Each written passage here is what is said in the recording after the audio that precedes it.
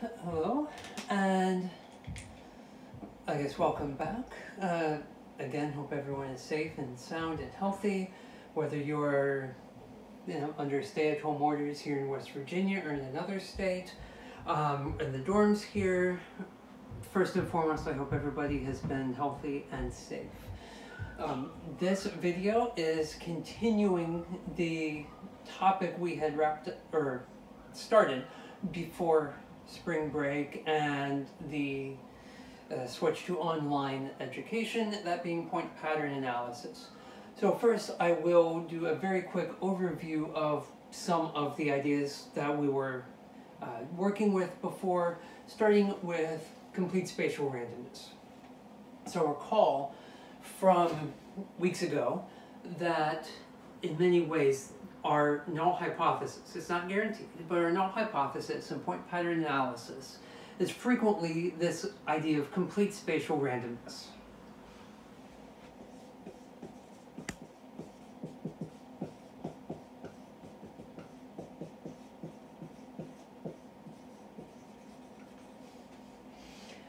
And complete spatial randomness has two assumptions, two components to it. The first of these is that when randomly locating points, for any individual point, any location is equally likely. So a point can be anywhere with equal probability.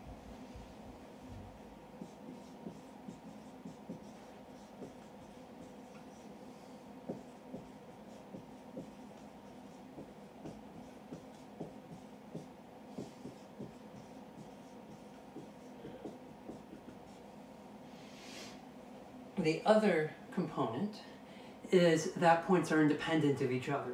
So if I tell you where the first 30 points are located in a point pattern, you have no way of knowing or having any better clue as to where the 31st point is found. So they are all independent of each other or located without respect to one another.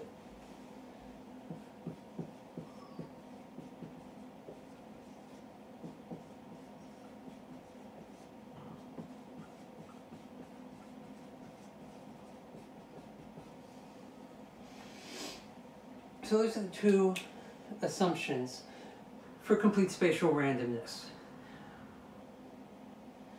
And the techniques that we saw or started with for point pattern analysis, we broke it down into two different approaches, density-based and distance-based. The two different approaches are in fact based upon these two assumptions.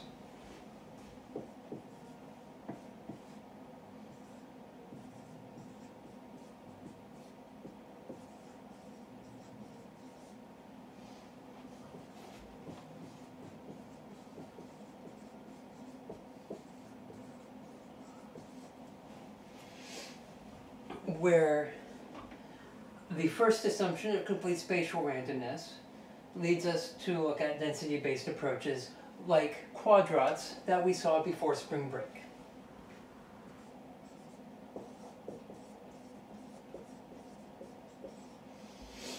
Now we're focusing on distance-based approaches, and we'll see two of them.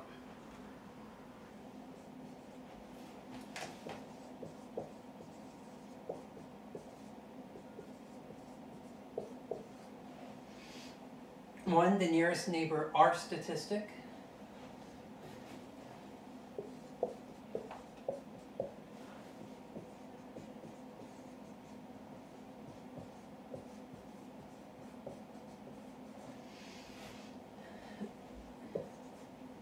And Ripley's K function. So now we'll switch over and look at these two, starting with the nearest neighbor R statistic.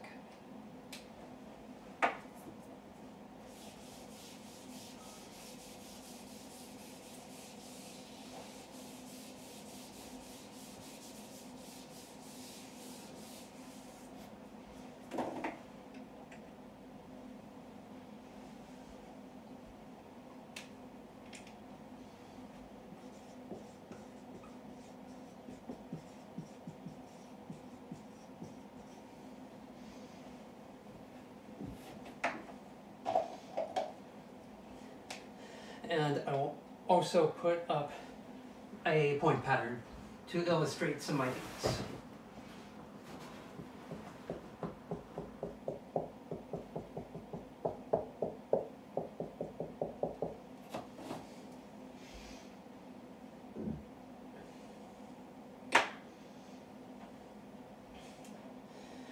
So for the nearest neighbor statistic, as the name suggests, the first step we do is to measure the distance from every point to its nearest neighbor.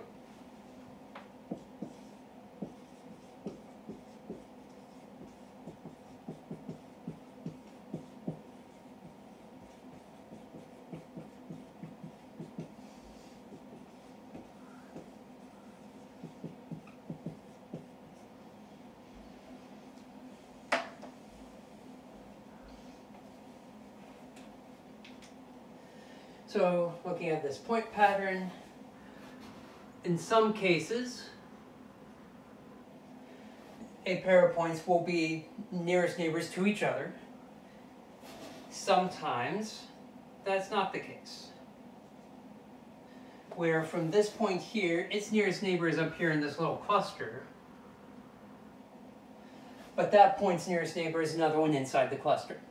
So as with the k-nearest neighbor distance matrix um, that we saw when looking at spatial autocorrelation and the concept of neighborhoods, again, before spring break, this is not symmetric. So just because you're my nearest neighbor doesn't guarantee the other way around. Each distance, each arrowhead, is included once. And we get both the average, we find the average of these distances,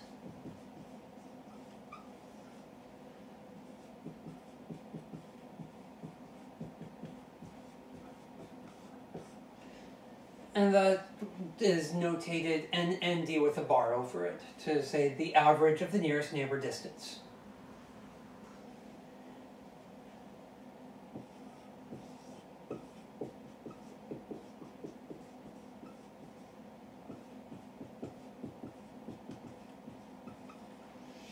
for the purposes of the statistic coming up, we also will compute basically the standard error of those distances. We'll be using it as a standard error, although it doesn't actually mean there's error in our measurement or our calculations. But as you see, we'll be using it um, kind of like the standard error in, say, the, a z-test.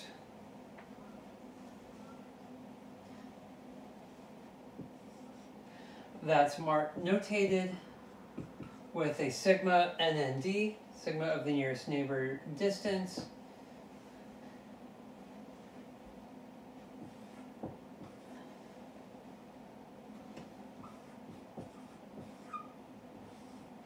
And it's that number 0.26136. It's basically just the number that it is. Um, divided by the the square root of n times lambda, where n is the number of points.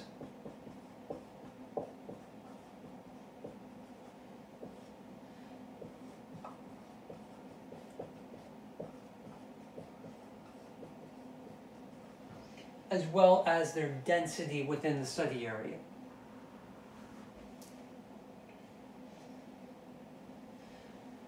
And this along with this average, we can use that to basically find our null distribution. We know if, based upon the nearest neighbor distance, the number of points, the density of points, we can get a good sense of what that, in a sense, ought to be under complete spatial randomness.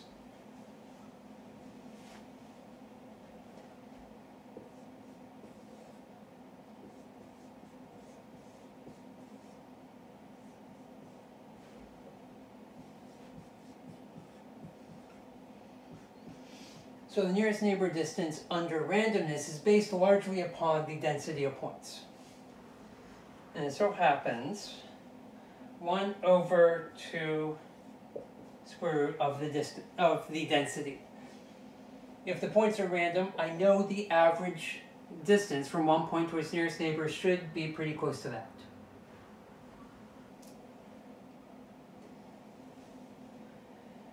Given that, then I can say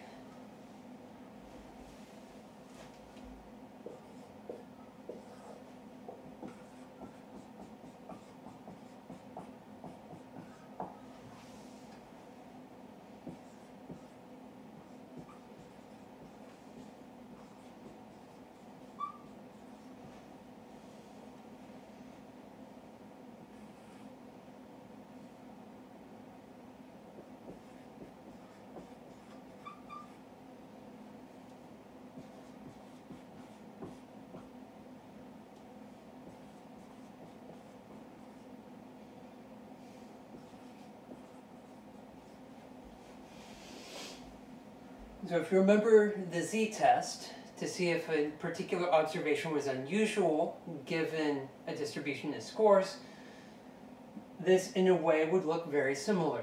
An observation minus the average divided by the standard error, or standard deviation. Here we have the actual observation of the average distance to nearest neighbor, so the actual value, minus what we expect under randomness, which is found through the density here, this NNDR. As with the z-test, we divide by the standard deviation. Here we divide by the standard error of the distances, again based upon how many there are and how densely packed the points are. So I know under a null distribution, or a null hypothesis, this is going to follow z-scores, a normal distribution with a mean of 1 and, or mean of 0 and a standard deviation of 1. Since we can use this like z-scores, we can now take this and put it into our statistical hypothesis um, or inferential statistics framework.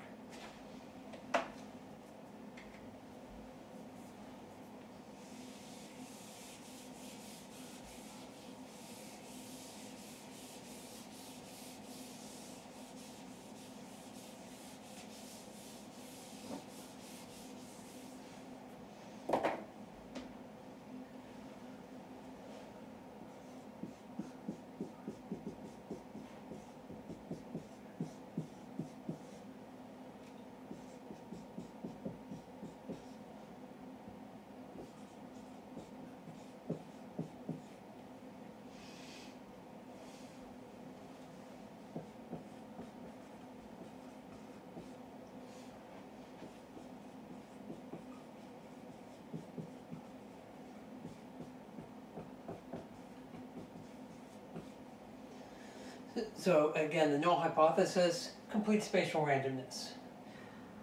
As with the z-test and the t-tests that are very similar, we can do this as a one-tail or two-tail t-test, or a z-test. If we do two-tail, it's just a question of is it random or is it not random. We can, though, do a one-tail test either in the clustered direction or the evenly distributed direction. I'll fill that in as I get a little bit further on here in the, this particular board.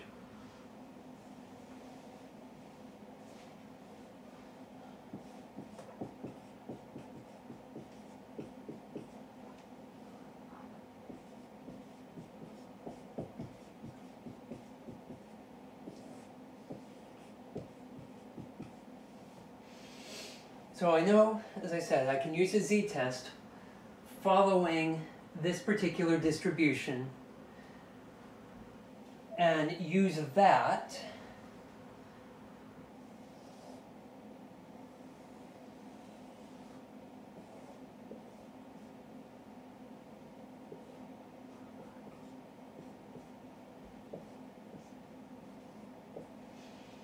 to find, use that to identify if my points are random or not, or clustered or even.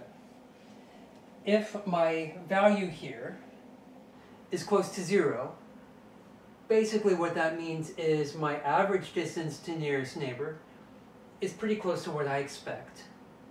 If they are random. This difference is about zero.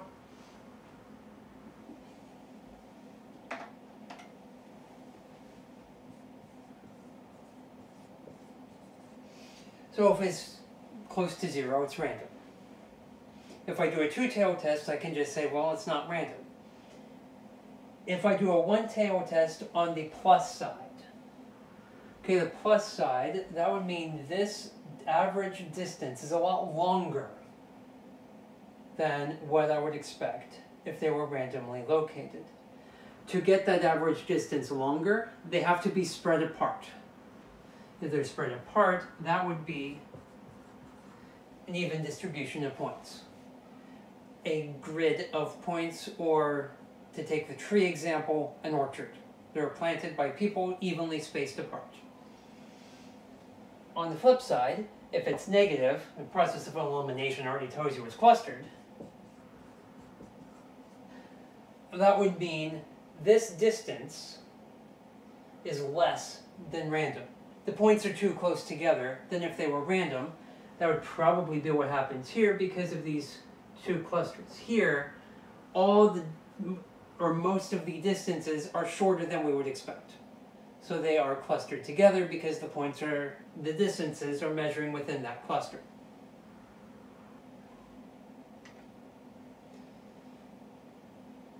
Based upon this, as with all of the other tests, I can then get a p-value using a z-table that you can find in a textbook that you can find online. And from that p-value, make a determination. Are my points clustered? Are they not? Am I going to take action because of that? Now this is good as far as it goes for nearest neighbor statistic. Transitioning to Ripley's K, this was the recognition, Dr. Ripley recognized, that by only looking at the distance to the single nearest neighbor, there is a lot of information that we are ignoring, that is being excluded. And so he's trying to come up with a way to make more use of all of the information from all of the distances, not just the nearest one distance.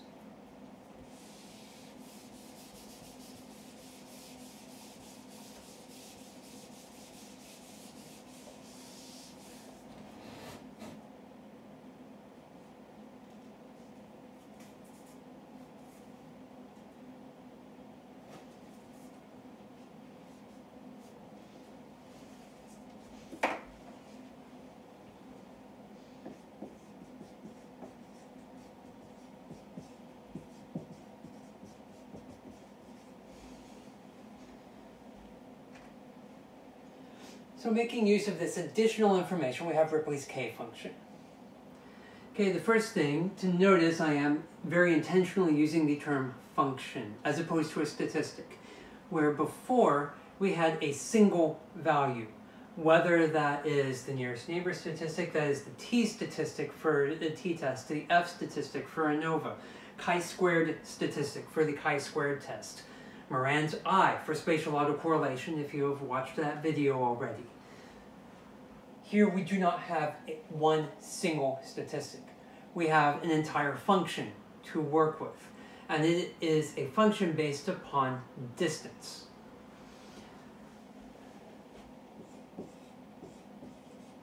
So there's k function of distance here, and the way it works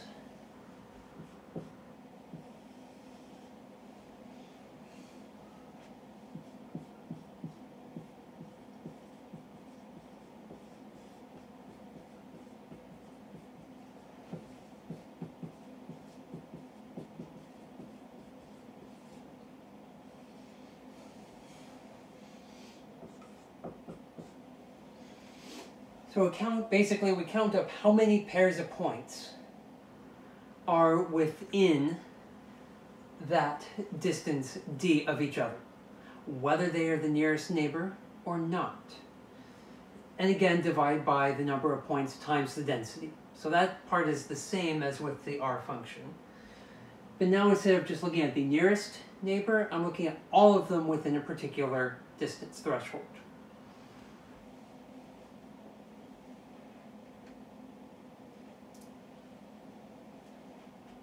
This can be basically very challenging to come up with what that expected function is under the null hypothesis. Like, unlike the R statistic, we don't have a very clear mathematical formula that we can apply. Because ultimately this is based not just on the, excuse me, upon the density and the number of points, it also ends up involving the shape of the study area. Typically, we don't have a nice normal shape for the study area.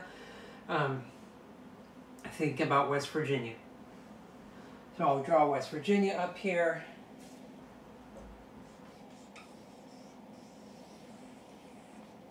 Or some approximation thereof.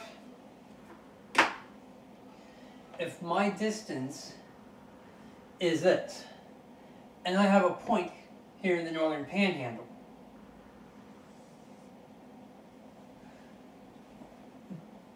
the expected number of points, if they were randomly distributed, is not easy to do because part of that distance crosses the state boundary, leaves the state. So there could be points there in that distance, but I don't know about them if my data is limited to the state of West Virginia. What this ends up meaning is the math is pretty much impossible for a nice formula. Therefore, instead of a formula,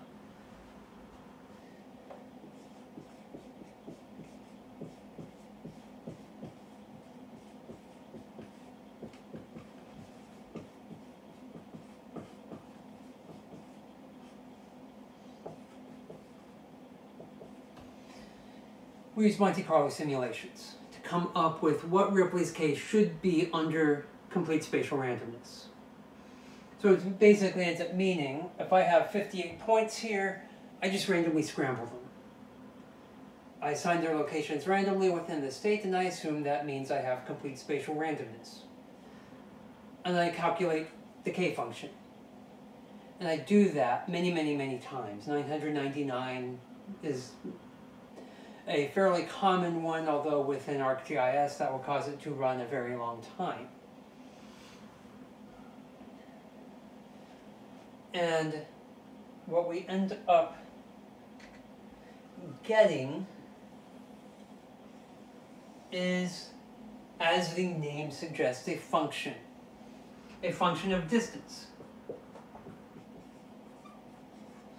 Where a distance along the, verti the horizontal axis and the k function on the vertical.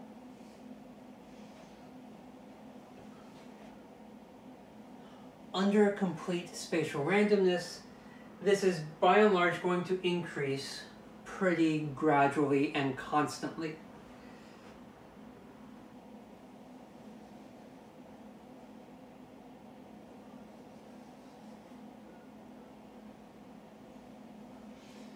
So we end up getting ourselves an envelope of the k function under complete spatial randomness.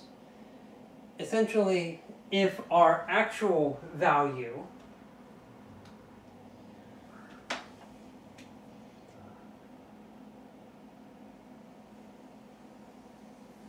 lies inside that line, it is random.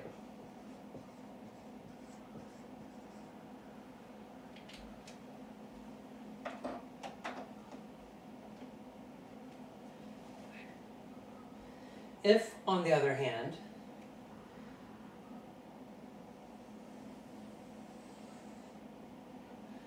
eventually at the at the lowest end, it's always going to be zero. There's no points that are right on top of each other. And at the top end, the longest distance, well, every point is included because it's the longest possible distance in the study area. But what happens in the middle can be important. And here, we essentially have too few points with that are that distance apart. They're all further than that distance apart. Because it says within the distance d, not just at that precise distance. So here, I expect a larger number of points that are that close to each other than is actually the case.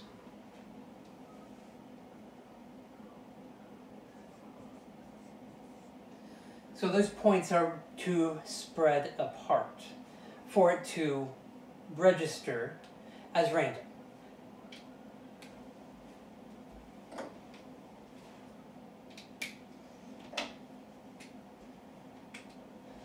On the other hand, if I have too many points that are within that distance threshold, it's going to go up quickly and then it can rejoin random. What happens here, a way to interpret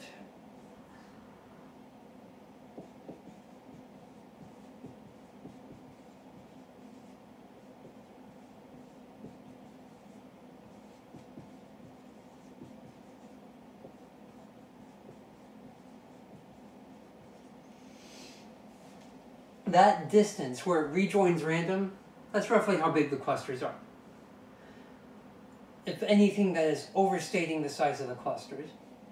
But it is more or less telling you at distances shorter than this, there are too many points that are that close to each other. Beyond that, it's random. So now you're looking at distances that instead of the distance of points within the cluster, the distance of points, say from one cluster to another, and then it would show up more as random.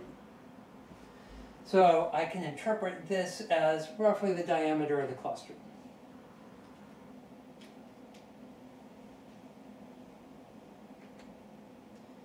So this is Ripley's K function.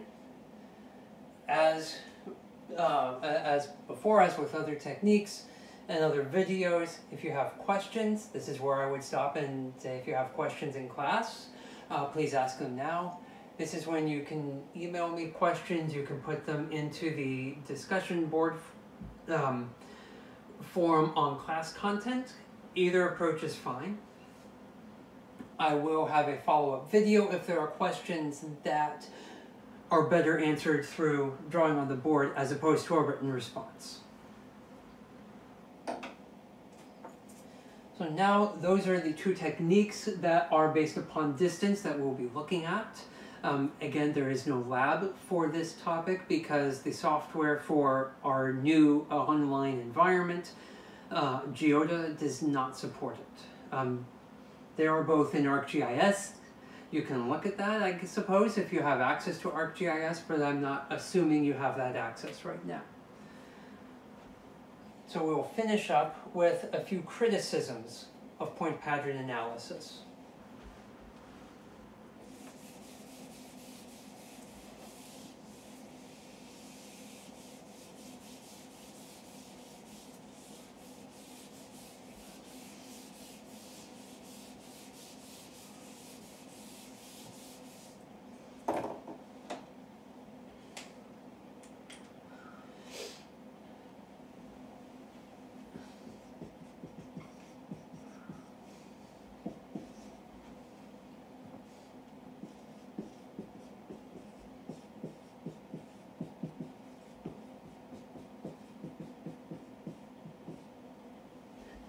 First thing is we're comparing against complete spatial randomness as our null hypothesis. In some ways, this is kind of like every other null hypothesis, or almost every other null hypothesis, where we're assuming that basically there's nothing interesting going on in the null hypothesis. This illustrates if our points are random, are truly random, then ultimately the geography doesn't matter. So it's a very philosophically silly idea to have this as our null hypothesis. That said, if you recall from the, especially from the distance-based topic, um, or not distance, density-based approach prior to spring break, and we could do this for the Monte Carlo simulations for density-based as well. We, we can set up our simulations, we can set up another, a different null hypothesis to compare against than complete spatial randomness. It ends up being more complex, but it is at least possible. So, yes, this is a critique, but it's one that we can fairly readily go around.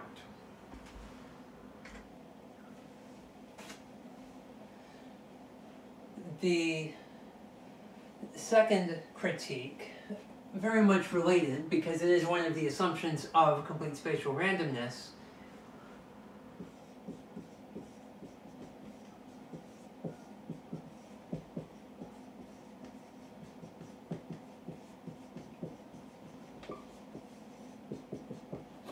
spatial data, geographic data, rarely are they truly independent of each other the response, the solution is pretty much the same as with the first critique there. That is going to be more complex, but we can, whether through more complex mathematics in a density-based uh, approach, or more complex simulation strategy in a distance-based approach through the Monte Carlo simulations, we can address this.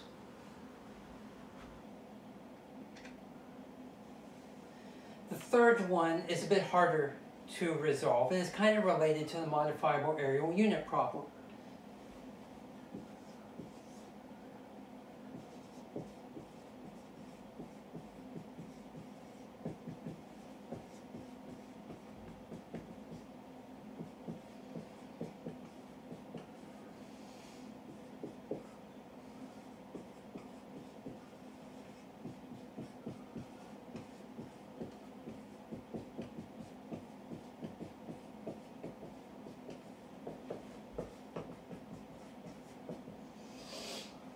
So we're looking at and using the density and the stats.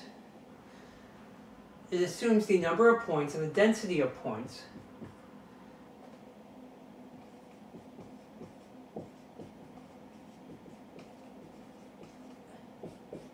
which is based upon the study area, is fixed. I can change the density by changing the number of points I can change the density by changing up the study area. It just makes that assumption is kind of similar to, as I said, modifiable areal unit problem. And ultimately, yes, that is a problem. However, the response would be um, trying to think carefully and thoughtfully about how we have those set up. So is it something where I have a very good reason to use the points that I do? If you're looking at something that is within the state of West Virginia, explicitly and intentionally within the state, then the state boundaries are a decent, uh, are mandatory, a, a very sensible study area. Yes, if I, if we changed up the state boundaries somehow, um, then yes, this would change, but it may still be the appropriate unit for our analysis.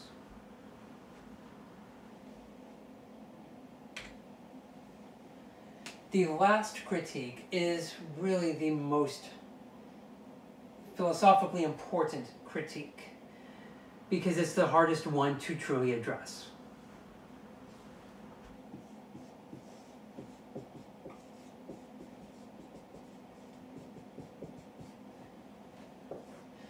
That is equifinality. Equifinality is the situation in which different processes can give the exact same pattern.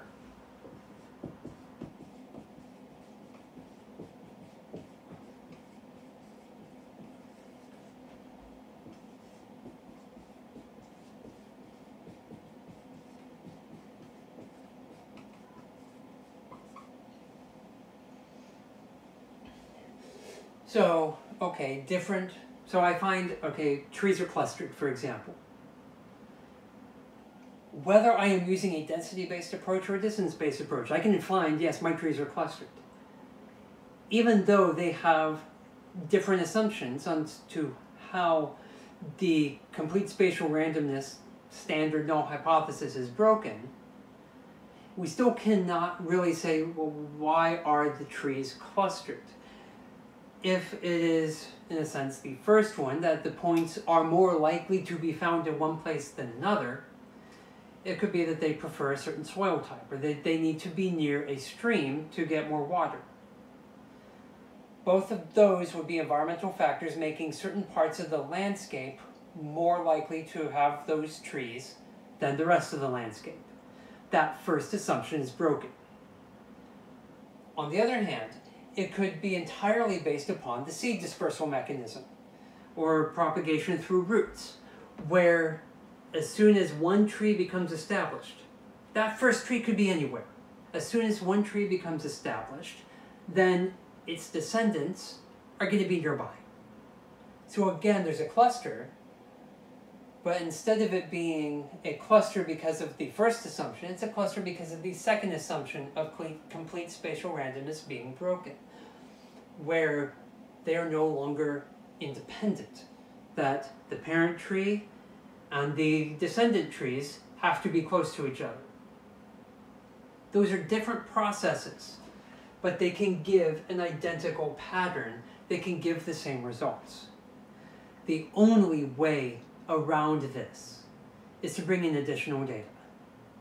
Where, okay, now I'm looking at the biology of that tree, how it works, and that may help me disentangle between those different possible hypotheses.